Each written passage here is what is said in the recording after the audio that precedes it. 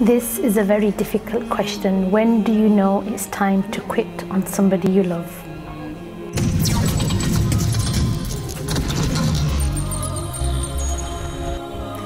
When do I know when it's time to quit on somebody and time to break up? After four or five tries, how many chances have you given them? It is a difficult question, but we all face this in the real world, even though it's a hard one.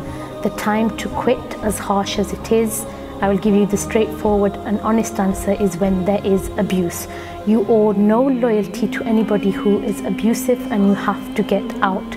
Domestic violence is when women are treated very poorly or even physically beaten by their husbands and partners. This is a bad deal. If you're physically being treated like this, you need to leave and get out. Often these people don't know how to get out, but you need to go somewhere safe. It might be friends, it might be parents' house, wherever it is safe. Exit and go now. Be swift and do it sooner than later. We have this misaligned thought about loyalty that if I leave this person, it's unfair on my partner, and we and we make these stories to validate their injustice. I know it's very difficult to do, but being verbally and physically abusive, you don't want to be consistently living with that for 10, 20 years. Even if it's for one year, it's, it's not good enough. There's 7 billion people on the planet. There will be someone who's going to treat you better, somebody who you can trust.